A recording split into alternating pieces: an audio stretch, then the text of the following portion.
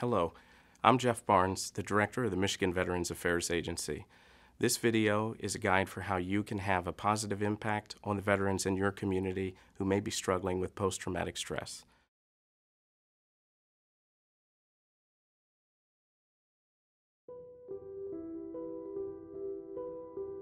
Uh, It was jungle. I uh, the colors, the muzzle flashes, everything was going all at one time, and I was right in the middle of it.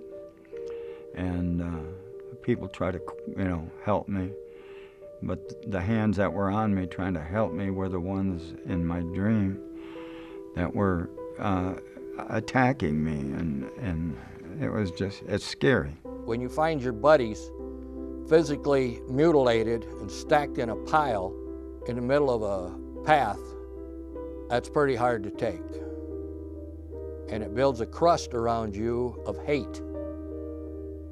And when you get home, you're still carrying that crust of hate.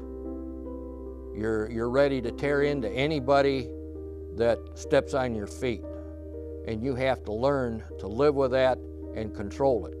You go through some very scary times, and you have to learn to live with it, understand it, what it is. A post-traumatic stress disorder uh, is a uh, chronic psychiatric condition comprised of symptoms of anxiety, oftentimes having to do with intrusive traumatic thoughts, negative and adverse emotions, which can affect a person's actions and behavior. There's a couple things that are critical to the development of PTSD. The incident that the person experiences or witnesses has to be outside the normal continuum of most individuals. Most people have a continuum that goes from here to here. PTSD, the seed gets planted when something happens to them out here or out here. The interesting thing with post traumatic stress, as is the case with most disorders, is that they are, while there are a set of symptoms which tend to be somewhat universal, that is commonly shared, they're highly individualized. So, two individuals who experience similar events may have entirely different reactions. There are a variety of definitions that have been used to describe the same injury, including shell shock, battle fatigue, post traumatic stress, post traumatic stress disorder, post traumatic stress injury. With veterans, post traumatic stress is commonly associated with service in a combat setting. I lost two marriages, I dealt with isolation, I dealt with drinking. alcoholism, uh, bad, bad drinking. drugs. Uh, anger was out of control. I didn't care who I was lashing out at. Uh, I didn't drink to enjoy it, I drank to drink. It went from wanting to be around everyone to hiding behind the, fo- the, the walls, just wanted away from everyone. I was at the point where I didn't feel compassion, I didn't feel love. You know, the only thing I, I ever felt was tired, rage, and wanting to be somewhere else. I deal with a lot of flashbacks.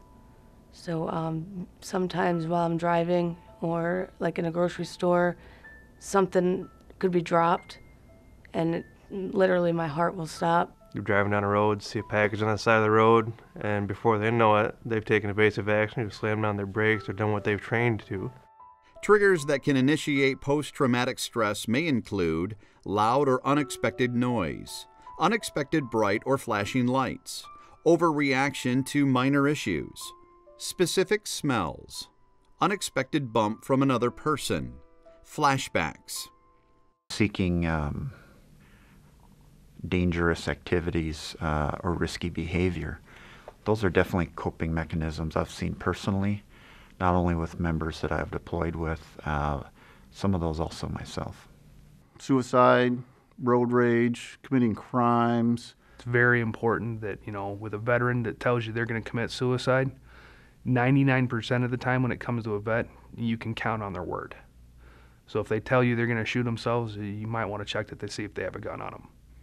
Anxiety, uh, uncharacteristic behavior that we learn from family and friends, uh, of, of sensations of, of feeling closed in, a need to act in whatever way they're feeling at the time with urgency and conviction.